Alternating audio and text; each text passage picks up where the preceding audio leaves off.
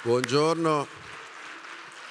Vi rubo veramente solo pochi, pochi secondi a conclusione di questa tre giorni. Una tre giorni che quando è stata pensata, è stata organizzata eh, per essere fatta qui nella, nella mia, nella nostra città, doveva essere una cosa dal mio punto di vista molto semplice. Si parlava semplicemente di famiglia, io l'ho inserita nel programma di mandato, la tutela della famiglia come prevista dall'articolo 29 della nostra Costituzione, ma una cosa così semplice, mi verrebbe quasi da dire banale, ma non è banale certo la famiglia, è diventata invece, l'abbiamo visto tutti, oggetto di grandi polemiche. Siamo arrivati alla conclusione, abbiamo dimostrato che nella nostra città si può parlare, guardate, incredibilmente di famiglia, di papà, di mamma, di bambini.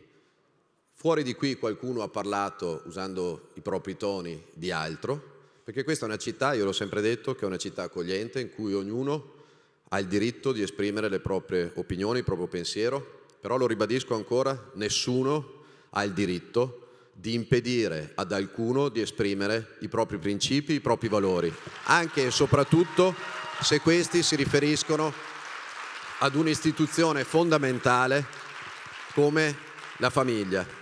E forse ci si è dimenticati, o forse questi giorni, le polemiche di questi giorni hanno mascherato.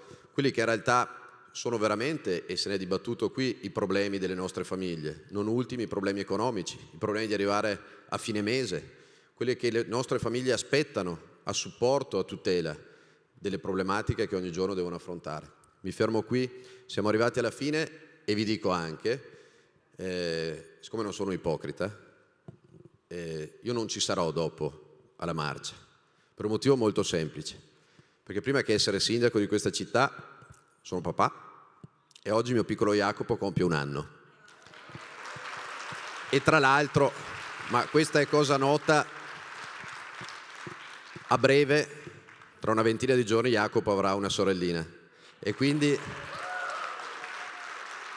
ho pensato che tutte le famiglie, perdonatemi questo piccolo atto di egoismo, tutte le famiglie sono fondamentali, sono importanti, ma la mia sinceramente ha la priorità assoluta su tutte. Buona giornata ancora e spero che sia stata una buona presenza nella nostra città.